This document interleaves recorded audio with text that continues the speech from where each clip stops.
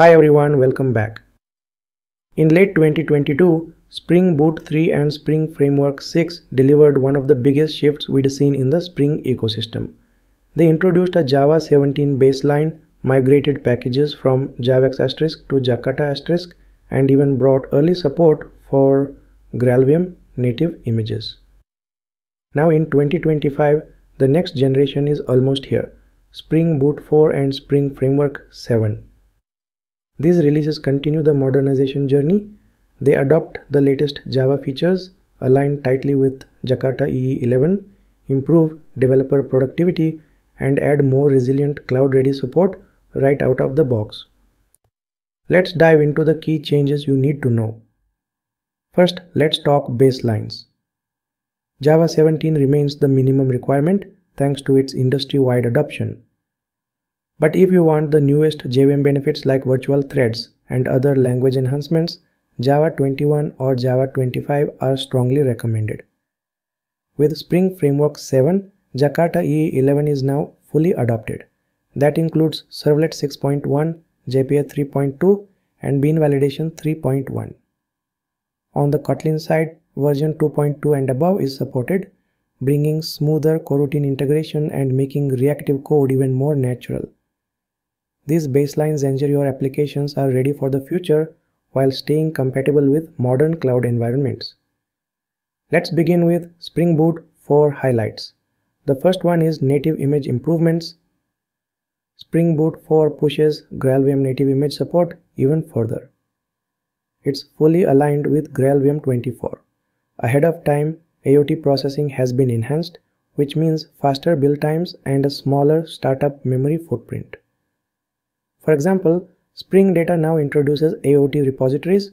During AOT processing, query methods are turned into source code and compiled directly with your app. That makes native images start faster and use fewer resources. Next, observability with Micrometer 2 and OpenTelemetry. Cloud native apps need excellent observability. Spring Boot 3 first introduced Spring Observability now Spring Boot 4 upgrades to Micrometer 2 and integrates an OpenTelemetry starter. This means your traces, logs and metrics work seamlessly together out of the box. Troubleshooting and performance monitoring become far simpler for modern distributed systems. Next, let's talk about improved SSL health reporting. SSL monitoring is now smarter. If a certificate chain contains certificates that are expiring soon, you will now see them in a new expiring chains entry. The previous will expire soon status is gone. Instead, expiring certificates are reported as valid but flagged under expiring chains, reducing false alarms while keeping you informed about certificate health. Next, modularization. One of the earliest milestones for Spring Boot 4 was refactoring its codebase into a more modular structure. In Spring Boot 3, many core modules like auto configuration, starter dependencies, and build tools were bundled into larger artifacts. This was convenient but sometimes made dependency management tricky and increased native image footprints. Starting with Spring Boot 4, auto configurations and support code are split into smaller, more focused modules. This modularization leads to faster builds and native image generation because GraalVM doesn't process unnecessary hints. Cleaner dependency management as optional integrations, Micrometer, OpenTelemetry, Persistence Tech are now separate modules. Better maintainability for the Spring team and contributors. As developers, you might not notice the change if you are using starter dependencies. For example, adding JPA with Hibernate is still as simple as adding this Spring Boot Starter Data JPA single dependency. Under the hood though, JPA auto configuration, Hibernate integration and validation setup are now in separate modules. If you are not using starter dependencies, you will need to review the new module structure. Details are available on the Spring Boot GitHub wiki. Next, let's talk about a new at configuration properties source annotation. Another feature improving modularization is the at configuration properties source annotation. This doesn't change how configuration properties are bound at runtime. Instead, it's a hint for the Spring Boot configuration processor at build time. In modular projects, property metadata could become incomplete if base classes or nested types lived in different modules. By marking a class with that configuration property source, you ensure full metadata generation even if the class itself isn't directly annotated with that configuration properties. This eliminates missing descriptions or default values in multi-module setups, making configuration processing more reliable and maintenance easier. Now let's discuss the Spring Framework 7 highlights. First one, testing improvements. Spring uses context caching to balance test performance and isolation. But in previous versions, long-running integration tests could still consume resources while idle. Spring Framework 7 introduces a test context pausing. Now Spring can pause and resume context in the cache, saving memory and speeding up execution in large test suites. Another addition is REST client, a lightweight client for testing REST endpoints similar to web test client but without reactive dependencies.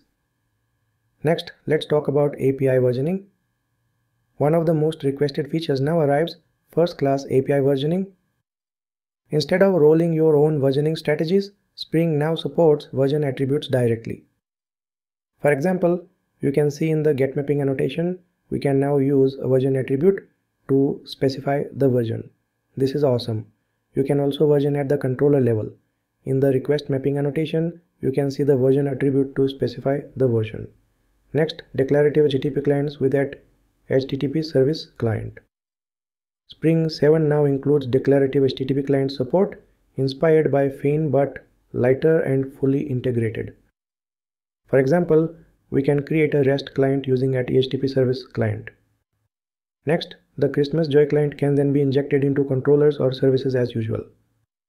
Next, multiple task decorator beans. In older versions, you could only register one task decorator.